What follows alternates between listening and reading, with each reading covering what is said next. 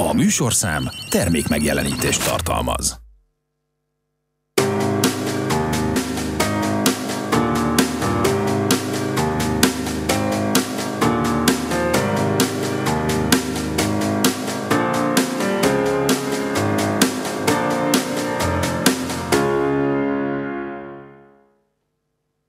Sok szeretettel köszöntöm a Fehérvár Televízió minden kedves nézőjét, beköszöntött a nyár. Így aztán Családőrzök című műsorunkban is foglalkozunk ezzel az időszakkal. A stúdióban szeretettel köszöntöm most is szakértőinket, vendégeinket, Fekete Cseri Zsuzsannát, a Kerekvilágház Alapítvány szakmai vezetőjét. Köszönöm szépen, szeretettel köszöntök mindenkit. Koszi Janka, énekes, előadó, művészt, kúcsot. Köszöntök én is mindenkit. És itt van velünk Tornyai Gábor, plébános, mentálhigiénis szakember. Én is szeretettel köszöntök mindenkit. Nem olyan régen beszélgettünk arról, hogy Gábor atya egy betegséggel küzdött, most egy kicsit a hangján megint érezzük, hogy nincs minden rendben, de azért nagyon köszönjük, hogy, hogy itt vagy velünk, és vállaltad ezt a beszélgetést. Köszönöm, én is örömmel vagyok azért veletek. Remélem, hogy a kedves nézők is azért majd elnézik nekem, vagy érteni fogják, ahogy majd mondani akarok. Nos, tehát beköszöntött a nyár, beköszöntött a nyári szünet, a gyerekek szabadulnak az iskolából, viszont ez a szülőknek nagyon sok feladatot ad. Először is meg kell szervezni a gyerek ellátását. Nem is tudom, manapság divat még a kulcsos gyerek megoldás. Ismeritek, emlékeztek erre? Kulcsanyakába, aztán megy a nagyvilágba? Emlékezni emlékszünk, de ilyet, ha látsz, akkor hívod a segélyhívót. Igen, szóval jobban kell megszervezni, hogy biztonságba tudhassuk gyermekeinket, ami nem egy egyszerű dolog. Mind a mellett lehet, hogy ha már nagyobb bacska is érdemes programokkal ellátni, hogy jól töltse a nyarat. Ez egy nagyon izgalmas kérdés, mert a nagyobbik gyereknek te már nehezen szervezel programot, mert ő közli veled, hogy nem. És nagyjából itt van vége a történetnek.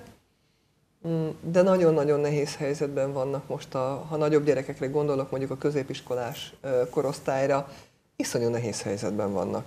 Nem azért, mert nincsenek jó nyári programok, meg nem azért, mert nem lenne alkalmas a világ, most hál' Istennek nyitott a világ, és, és mehetnének mindenféle programokba. Azért vannak nagyon-nagyon nehéz helyzetben, mert nagyon megterhelő volt neki ez a Covid terhelt időszak, és nagyon szétzilálta a középiskolás korosztályt. Azt kell tudni róluk, hogy, hogy nagyon-nagyon frusztráltak, nagyon-nagyon szoronganak, nagyon-nagyon sok az addikció, rengeteg sok a pszichiátriai, pszichológiai probléma, és így megyünk neki a nyárnak. Ugye ennek mi a veszélye? Az a veszélye, hogy addig, amíg iskola időszak van, szorgalmi időszak, hát addig megmondják neki, hova menjen, mit csináljon, hányszor csinálja, miért csinálja, kivel csinálja. Igen ám, de most egyszerűen kinyílott a világ, és neki kellene megépíteni a kamasz gyereknek, hogy ő mit és hogyan szeretne. Képtelenek rá. A nagyon nagy része a csoportnak képtelen rá. Tehát a szülőknek valami hatalmas tehertétel. Ez is, ha kisebb a gyerek, nem lehet magára hagyni, azért, hol van ennyi szabadság a világon sincs, táborok vannak, miből finanszírozod meg, és egy ördögi körbe kerültünk. Jó, jó nyárkezdés ez itt Lehetünk is, az a boldog Az az igazság, hogy az évről évről így van, hogy a gyerekek örülnek a szabadságnak, a szülő meg bokarózik, hogy igen, igen, hogy most mi legyen. Tehát azért ez egy, ez egy nehéz helyzet. Janka, ötlet? Én igazából a Zsuzsitól akartam kérdezni, hogy milyen megoldást lát mondjuk erre a helyzetre, hiszen ő nyilván test közelből tapasztalja folyamatosan a a családon belül, hogy milyen problémák jöhetnek elő ebben az időszakban is, úgyhogy ez engem is érdekelne. A, ami nagyon izgalmas ebben a, az időszakban a családoknak az az, hogy nem ilyenkor kell elkezdeni felkészülni rá. Tehát ez már nagyon késő. A táborokat ugye márciusban elkezdik szervezni, még az utolsó pillanatban is van, aki összerak egy-egy tematikus tábort, valamilyet, még azokra be lehet csúszanni oldalról, innen-onnan, de nagyjából most arra szerintem legalábbis olyan 13-14 éves korig már kialakult a családok rendje, hetekre beosztva, hogy ki, mikor, hol, hogyan. Ugye, ha kisebb a gyerek, akkor mindenféleképpen szoros felügyeletre van szüksége, ami azt jelenti, hogy egyik felnőtt kézből adjuk a másik felnőtt kézbe, tehát ha óvodáskorú, akkor amíg az óvoda nyitva van, ha nem, akkor vannak ügyeletes óvodák, és hogyha nem, akkor a szülőnek a szabadsága jobb esetben, szerencsés esetben el tudnak menni nyaralni. De ugye az is előre szálláslefoglalás, előre tervezés. Tehát ott is tudjuk, hogy hányadikától hányadikáig hova megyünk, mit csinálunk. A kisiskolásoknál nagyon-nagyon sok tábor van, nagyon sok fajta tábor van, ugye Székesfehérváron élünk, Székesfehérvár város is csinál táborokat, itt is, és Velencén is szenzációs programok vannak, azokra ránéztem. Oda tényleg nagyon érdemes bejelentkezni, a fehérváriaknak ugye még kedvezőbb és gazdaságilag ez, hogyha a fehérvári családokat nézzük, és az ugye napközis tábor. Tehát reggel megy, délután jön, kvázi, mintha iskolai időszak lenne, mert a szülő ugyanúgy el tud menni, és el tudja látni a feladatát, dolgozni tud menni. A nagyobb gyerekeknél is megvannak ezek a tematikus táborok, és egy bizonyos korosztály fölött, ha jól tudom, most 16 év, utána ők már tudnak menni nyári munkát vállalni. Na most ez is nagyon-nagyon szerencsés, hogyha erre is időbe felkészülnek. Tehát ha most kezdünk el gondolkozni és kapkodni, akkor már egy kicsit késve vagyunk, de hosszú a nyár, még mindig ki lehet belőle hozni sok mindent. Beszéljük meg a kamasszal, szeretne -e menni, mégis milyen munkára szeretne menni, hogyan legyen, segítsük, támogassuk az útkeresésében, és próbálja ki magát. Nagyon-nagyon fontos dolognak tartom, hogy a saját élő, aktív, face-to-face kapcsolatait ápolja, építse, gyarapítsa, mert hogy ez lesz az ő megtartó ereje. Nekünk is a kapcsolati tőkénk az, ami ebben a világban az egyik legnagyobb értékrendünk, vagy az értékrendünk meghatározója. Ugyanez igaz lesz ő rájuk is. Segítsük őket, hogy tudjanak ki alakítani maguknak. Ehhez bizony komoly harcok lesznek, mire a digitalizációtól egy kicsit megszabadítjuk őket. Igen, ez lesz majd a műsorról a második felének témája. Viszont egy picit, mit most ugye arról beszéltünk, hogy, hogy valaki vigyázzon rá. Tábor van, kettőbe, ha elmegy, akkor már szép. De azon kívül, hogy ő biztonságban legyen, vagy a kisebbek mellett felnőtt legyen, azon kívül tényleg valami programot is kell, hogy kitaláljunk, mert ez az az időszak, amikor gyerek egyik pillanatról a másikra elkezd unatkozni, és ezt ő el is mondja, és akkor ott van a probléma. Tehát kell az, hogy, hogy valamivel, valamivel lekössük. Nekem mi eszembe jutott jó esetben, mondjuk a nagyszülő még ott van a képben, aki mondjuk tud esetleg valamennyit bevállalni a gyerek vigyázásba, főleg amikor a kicsikről van szó, de, de bár mondtad, hogy a, a második fele lesz majd a műsoroknak a témája, de azt gondolom, hogy azok a, azok a gyerekek, akik már akár óvodáskoruk óta rá vannak kapcsolódva a világhálóra, vagy, vagy valamiféle kütyüt használnak, vagy nézegetnek, azokat nagy kihívás le, lekötni. Nem lehetetlen. Most én csak a, a saját plébániámra gondolok, hogy a minket cserkésztáborba a, a gyerekeknél nem nagyon vannak mobiltelefonok, vagy legalábbis azt gondolom, hogy a tábori program miatt ritkán használják, és mégis a gyerekek nagy élménnyel tudnak hazajönni. Már sokszor talán elhisz elhinni, hogy képesek létezni anélkül. Tehát, hogy, hogy azt gondolom, hogy, hogy lehetséges olyan programokat találni, vagy kialakítani számukra, ami tud elég érdekes lenni ahhoz, hogy leszakadjanak a kütyükről, bár azt hiszem, hogy nem kis feladat ez annak, aki mondjuk bármiféle ilyen programot szeretne csinálni. Szülőként meg talán tényleg az a nehézsége, hogy ez egy kényelmes megoldás ahhoz, hogy nyugalom legyen mondjuk otthon, vagy ne kelljen állandóan foglalkozni a gyerekkel, mikor egyébként neki, mint szülőnek sincs annyi ideje arra, hogy még akkor a gyerekkel is foglalkozom, hiszen az év többi részében ez megoldja az iskola, megoldja az óvoda, megoldják az edzések, a különórák és minden egyéb, és most másfajta logisztikát kell kitalálni, mikor a család életében is, hogy akkor hogyan tudunk most működni, hiszen most éppen nem kell ide-oda futni, meg nem kell ilyen-olyan dolgokat csinálni.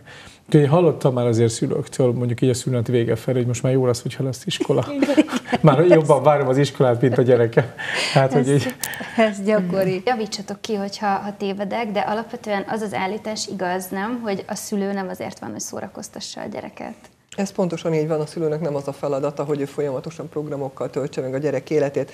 A mai szülők, bocsánat, hogy most én ezt a szóhasználatot ö, próbálom meg ide behozni, azért vannak nagyon nehéz helyzetbe, mert az iszonyatosan felgyorsult világ, ahol nagyon-nagyon gyorsan jönnek az információk, nagyon-nagyon gyorsan jönnek az ingerek, amivel folyamatosan bombázzuk a gyerekeket, ez a gyereket egyfajta élethelyzetbe beletrenírozza, az egész idegrendszere erre rááll, és onnantól kezdve, ha egy teljesen természeti helyzetbe kiviszed egy erdei kirándulásra, az olyan dögunalmas, vontatott és lassú, mintha neked most végig kellene nézned a Tenkes kapitánya című filmsorozatot. Nem tudom, tudod-e miről beszélek, többiek tudják. De hát az olyan lassú volt, hogy megfogjuk az iszapot. Fölkenjük a bal vállunkra, végig húzzuk a karunk. Na, szóval De- nem de ott fogom volt a tovább humor. mondani. De értitek? Tehát, hogy, hogy valami, valami olyan nagy nehézség a gyereknek lelassulni, hogyha ezt én a saját unokámon tapasztaltam meg, amikor elvittem valamilyen helyzetbe, már nem tudom konkrétan, mert elég sok helyen voltunk, most mit húzzak így nagy hirtelen elő, de gyakorlatilag így végigrongyol mindenem, mint a gyorsvonat, és a szelese érinti meg annak, ahol van. Mert képtelen lelassulni az idegrendszere. Tehát ami nagyon nagy kihívás most, én azt gondolom, hogy valamilyen módon tegyük már át egy más munkamenetbe a gyereknek az idegrendszerét, hogy most nyugi van, most béke van, most lelassulunk, hál' Istennek nem kell rohanni, nem kell sérni, és nem kell pörögni. Igen ám, de ő abban érzi magát komfortzónában, és ebből van nagyon sok nehézség. De ha visszamegyek egy értékrendjében stabilabb világba, akkor azt gondolom, hogy valóban a szülőnek nem az a dolga, hogy cintányéros bohóc legyen a gyereke körül, hanem hogy hagyja őt szabadon, aztán hadd élje az életét. Tehát, hogy ő hadd szervezze meg magának, hadd fedezze fel. Hát most végre nem kell leckét írni, most végre nem kell tolbamondásra készülni, most végre nincs, nem kell ide rohanni, oda rohanni. Elmélyülhet bármibe, amit őt érdekli. Hát ez az. Van-e, ami érdekli? Ez az, hogy mennyiben mélyül el, és mikor kezdem megjelenni, hogy anya, unatkozom, és csináljunk valamit. Meg, nem biztos, hogy megjelenik. Tehát, hogyha amíg, amíg bele, beletemetkezhet a digitális világába, akkor nem fog megjelenni, mert Ez akkor szépen van. becsukja a szobáját, és akkor ott marad a telefonjában, és akkor csetel, vagy valami bármi egyéb dolog utána néz, vagy a legújabb trendet megnézi a TikTokon, hogy hogyan kell öltözni, vagy nem tudom. Most voltam nem olyan rég barátokkal, étterem, és az egyik mondta, hogy hát látszik rajta, hogy ő is a TikTokról öltözik, ő is TikTok lány, meg ő is TikTok lány. Jézus erély, ez komoly, ma már ilyen trend? Trendek, trendek Te vannak, hogy hogyan kell öltözni. Én nem, nézek, nem nézem a TikTokot, úgyhogy nem tudom, de persze sok minden van, igen. Én azt hiszem, hogy pontosan ez az, amit azért csak a szülőnek valahogy irányítani kell, hogy ne tudjon folyamatosan, tehát ne lógjon folyamatosan a, a, a technikán, hiszen halljuk a szakemberektől folyamatában, hogy mennyit, mennyit árt ez. Én saját családomban is látom, hogy otthon is van, ugye a három gyerekkel van némi küzdelem ezen a téren, de némi fegyelemmel, szigorral, megvan minden az udvaron, amivel tudsz játszani, és ki vannak csukva a lakásból. Csak, csak az a lényeg, hogy ilyenkor, csak az a lényeg, hogy ilyenkor te ne ülj a mobiltelefonot hozzá. Igen, Igen, ez ezt, van. ezt akartam Igen, igen, ez így igen van. pontosan Igen. felhozni, mert nyilván, tehát én egyébként is a felnőtt korosztályhoz nyilván most idézőjelben jobban értek, szóval ahhoz tudok inkább hozzászólni, mint a, mint a gyerekekhez egyelőre, de hogy igen, tehát nagyon nem mindegy, hogy milyen példát mutat a szülő, mert ahogy az előbb is beszéltük, hogyha mondjuk mindkét szülő ott mobiltelefonozik a, a gyerek mellett, de ugyanakkor a gyerektől pedig elveszem a mobiltelefont, hogy te most ezt miért csinálod megint, akkor az, az nyilván tehát felborult a, a, a mérleg abszolút, tehát nincsen egyensúly. Úgyhogy igen, nagyon nem mindegy, hogy én milyen példát mutatok, hogy én le tudok-e nyugodni egyébként, mert hogy azért az sem, az sem mindegy, hogy én meg tudom ezt csinálni, mert nagyon sokszor, hogyha mondjuk hazamegyünk a, a munkából, akkor kapcsoljuk be a rádiót, a tévét, mert eleve az a, a mindennapos zaj, ami, ami körülvesz minket, eh, az nem hagy annyira gondolkodni, nem hagy annyira lelassulni, relaxálni, megérkezni egy nap végén, és ezért kell az, hogy valami szóljon folyamatosan, ami lefoglalja az agyunkat. Tehát, hogy, hogy egy ilyen állapotból ne is várjuk el azt, hogy mondjuk a gyerek az miért nem nyugszik meg. Tehát először inkább magunkban. Ilyen távoli analógia, pedig még az nem is annyira digitális világ című történet, de azt gondolom, hogy ez a, ez a milyen mintát mutatok a másiknak, hogy annak idején nagyon sokat küzdöttünk, meg most is azért valami, valamiféle küzdelem, amikor a gyerekeket első áldozásra készítjük a templomba, és ugye kérjük, hogy, hogy jöjjenek el misére. És nagyon sok esetben annyi történik, hogy a szülő megáll a templom ajtóba, jó esetben vagy a plébánia kapunál, kiszáll a gyerek, és beküldi misére, ő pedig elmegy az autóval. És akkor ezért szoktunk könyörögni a szülőknek, hogy jöjjenek el, mert hogyha a gyerek azt éli, hogy anyának, apának tulajdonképpen ez nem fontos, és rám van erőltetve valami, ami, ami igazán valahol idegen tőlem, akkor biztos, hogy, hogy semmi kötődése nem lesz a történethez. De ha azt éli meg, hogy anyának és apának ez fontos, ők is ott vannak, részt, vesz, részt vesznek, jelen vannak a, a történetben, akkor már nem is biztos, hogy jobban ott marad, de egészen másképpen éli meg ő is az ott létét. És azt gondolom, hogy ez az analógia, amiket akár ti is mondhatok, ugyanúgy igaz, akár a, a kütyük használatára is, vagy bármi az idő kitöltésére, a, mit kezdjek azzal, amikor, amikor nem mondják meg, hogy mit kell csinálnom, hogy, hogy, hogy hogyan tudok, hogy tudok nem unatkozni. És mondjuk, ha, ha nem is a szülőnek a feladata az, hogy ő beossza a gyereknek az idejét, de azt gondolom, hogy, hogy, hogy már kezdettől fogva minta tud lenni a gyereke számára, hogy például ő saját maga a, a szabad idejével mit tud kezdeni, vagy hogyan tud jelen lenni mondjuk a másik számára, amikor ő hazaérkezik, vagy, vagy amikor éppen nincs mit csinálni, akkor rögtön leheveredek és nézem a telefonomat, vagy pedig, vagy pedig félreteszem, és azt mondom, hogy akkor most itthon vagyok, és goveretek vagyok. Mert ezek mind ilyen apró, apró dolgok, jelzések, és ez a hétköznapokra is igaz, amikor van iskola és óvoda, de azt gondolom, hogy most a nyáron meg különösképpen is igaz, hogy mit kezdek az időmmel. Mm.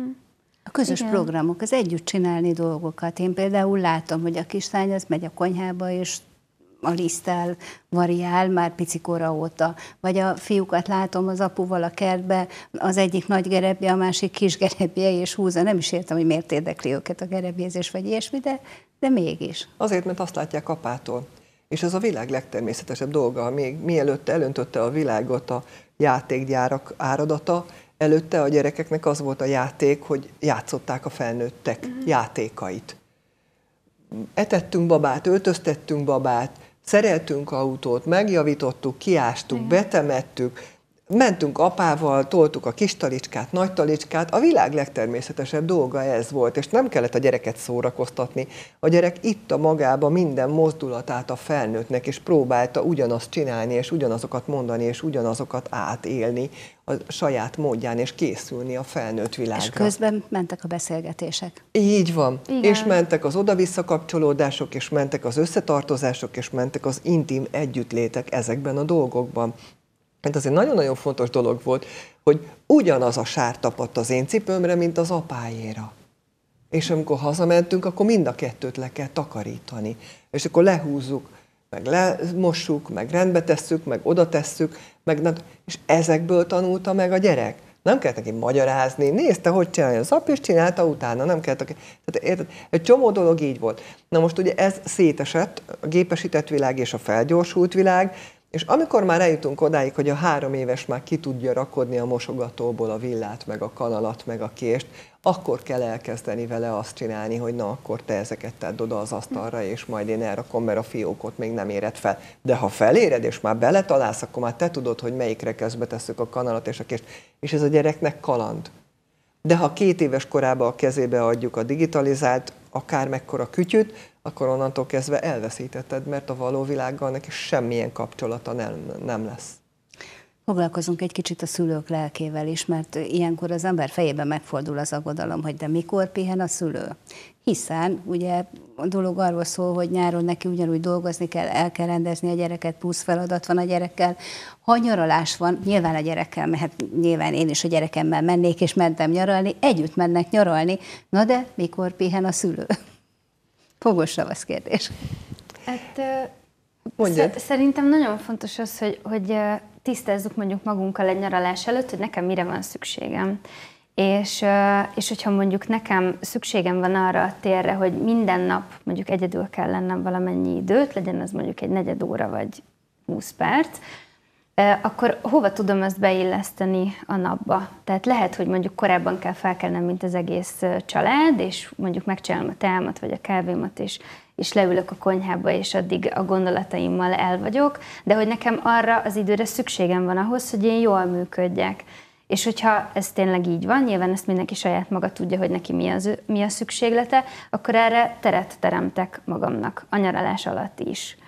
Mert hogy nyilván ennek köszönhető az, hogy mondjuk akár egy váratlan helyzetben is például hogy tudok reagálni, mert egy nyaralás esetében mondjuk ez nagyon sűrűn előfordulhat, hogy váratlan helyzet adódik. Jobb és esetben ugye, legyen is, mert akkor kaland. Igen, igen, tehát ennek van jó is, meg nehezebb oldala is adott esetben, de hogy, hogy nyilván az, hogyha én pihentebb állapotban vagyok, vagy kiegyensúlyozott vagyok, akkor ezekben a helyzetekben is jól tudok működni. Tehát például én ezt kiemelném, hogy ez egy fontos dolog. Egyébként lehet. szerintem, ha egy pár nyaral együtt, legyen uh-huh. az házas pár, vagy csak pár nyaral együtt, akkor is szüksége van ott is egy kis én időre. Igen, de ugye, hogyha a gyerekes családokba gondolkozol, akkor um, abban az időszakban, amikor a gyerekeket nevelgeti föl egy család, egy házaspár, akkor rohannak az évek. Konkrétan. Te is tudod, túl vagy már egy néhány dolgon. Úgy futnak el ezek a napok, ezek a hetek, ezek a hónapok, évek, hogy azt se tudjuk, hogy a most született gyerek mitől kezd most első áldozó lenni, mitől lesz bérmálkozó, és mitől kezd már éppen a diploma dolgozatát írni. Tehát, hogy, hogy iszonyatosan gyorsan elmúlnak az évek, csak hogy. Um, volt egy nagyon kedves nagynéni a mi családunkban valahol egy oldalági, aki azt mondta, hogy uh-huh, imádom a gyerekemet, a lányomat is, a fiamat is, de ha ők elmennek, akkor én a férjemmel maradok. Tehát ha én nem építem fel a kapcsolatomat hétről hétre, hónapról hónapra, és az összetartozásunk nem lesz nyilvánvaló mindenki számára, akkor nagy bajban leszünk, amikor kirepülnek a gyerekek. Tehát én azt gondolom, hogy ma már meg lehet azt tenni, és meg tudják csinálni a családok, ha ez nekik fontos, ha az ő értékrendjükbe ez beleillik, hogy két-három napra, öt napra, egy hétre a gyerekek nélkül menjenek el. Tehát amikor mi vittük a gyerekeket táboroztatni, most már nagyon régóta nem csinálunk táborokat, de abban az időben, amikor még csináltuk, akkor hétfő reggel felszálltunk egy vonatra, és pénteken este vagy szombaton dél körül megérkeztünk egy másik vonattal. Többnyire ugyanarra a vasútállomásra itt Székesfehérváron, és a kettő között megszabadítottam a gyereket az anyjától, meg az apjától egy hétre, meg az anyját, meg az apját a gyerekétől egy hétre. Micsoda felüdülés volt ez mindenkinek. Tehát, hogy mekkora nagy szükségük van erre a családoknak, azt el se tudom mondani. Mert évközben sem tudunk egymásra jól és elegendő időt áldozni, ha erre nem vagyunk nagyon-nagyon tudatosan felkészülve. Csak így példaként ez jutott eszembe, hogy a, a söréri tábor, ahol uh-huh. fogyatékkal élő gyerekeket táboroztatnak, a, ez tulajdonképpen így indult el. Annak idején, vagy amennyire én tudom, itt a, legalábbis a fehérvári turnus időszakos dolog úgy indult el, hogy a, az itteni fiatalok egyszer csak felfedezték, hogy az ő baráti körükben, ismerősi körükben is vannak olyan fogyatékelő gyerekek, ahol a nap 0-24 órájában ott kell lenni a gyerek mellett a szülőnek, és igazából nem tudnak pihenni. És akkor ez volt az alapgondolat, hogy akkor legyen eleinte úgy volt, hogy 10 nap, most már gyakorlatilag ugyanúgy egy hét, amikor, amikor a szülők tudnak egy picit pihenni. És akkor egy hétre lehet, hogy a lakást újítják fel, de hogy akkor azzal tudnak foglalkozni, ami, ami az ő pihenésük. Tehát hogy azt gondolom, hogy az is lehet egy megoldás egy családnál, segítség, hogy mondjuk valaki a rokonságból bevállalja, hogy addig vigyáz a, a gyerekekre, akkor szülő is biztonságban tudja a gyereket, és nem feltétlenül nagyszülő, hanem akkor tudok olyanokról is, hogy, hogy most például konkrétan pont a mi családunkban van egy ilyen, hogy az egyik nagynéném vigyáz több családnak a, a kisgyerekeire, és akkor van egy ilyen kvázi családi napközi, de hogy tényleg a szó igazi Igen, értelmében Igen. családi napközi, hogy amíg a, szülők, amíg a szülők dolgoznak, addig ő ott vigyáz a gyerekekre. És Egyéb... akkor ott vannak együtt az unokatesók, vagy a második, nem tudom hány unokatesók, ők már így egymással, de hogy akkor együtt vannak a gyerekek, és van egy családtag, aki, aki figyel rájuk.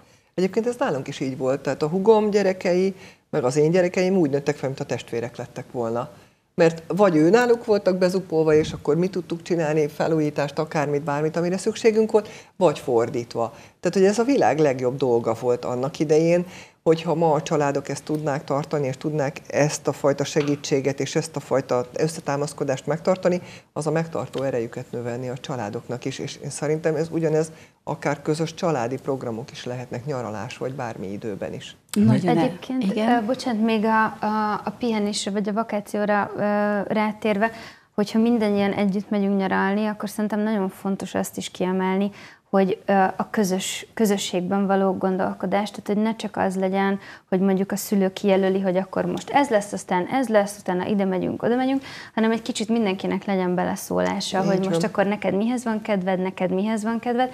Tehát, hogy, hogy tényleg mindenkinek így egy kicsit az alkalmazkodó készségét érdemes uh, aktiválni, Abszolút ideillik a levezető kérdés, mert ez a mai műsorra szokottnál is gyorsabban elrepült, legyen mondjuk Egrivár. Látom, jön az egyik család, ekkora gyerekekkel. Az ekkora gyerekek, hú, nézd, de jó. Jön a másik család, ekkora gyerekekkel, és a gyerekektől azt hogy most miért ide jöttünk? Mitől függ? Vajon, hogy a család berendezkedésén függ, hogy föl tudták-e kelteni a figyelmet egy ilyen látványosságra, mielőtt mentek, vagy eleve a gyerekek beállítottságán? Segítek. Egy cukrászdába mentünk be az egyik hétvégén a férjemmel, megjött egy három gyerekes család.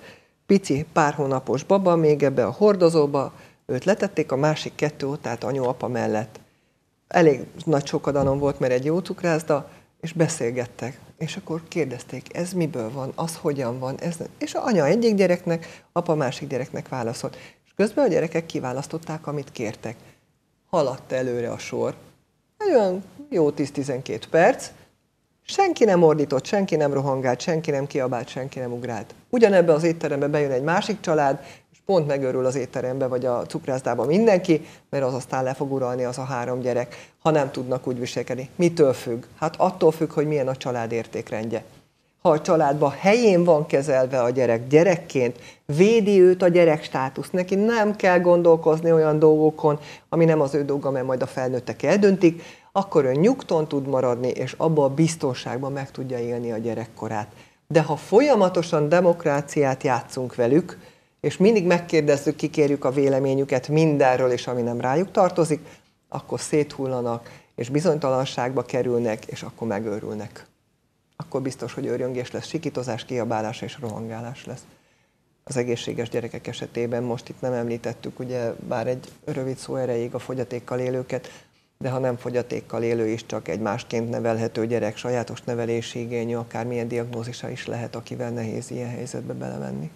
Minden esetre nehéz eset ez a történet, akárhogy is nézzük, úgyhogy a műsor végén már csak biztatni tudom a szülőket, hogy azért pihenjenek is, érezzék jól magukat, élvezzék a szülőségüket is, mert most van arra is idő többet, ott van az a gyerkőc, és bízom benne, hogy mindenkinek nagyon jó lesz a nyara. Nagyon szépen köszönöm a mai beszélgetést vendégeinknek, Kosziankának, Fekete Cseri Zsuzsannának és Tornyai Gábor atyának is. Köszönjük a figyelmet, viszontlátásra! Viszontlátásra!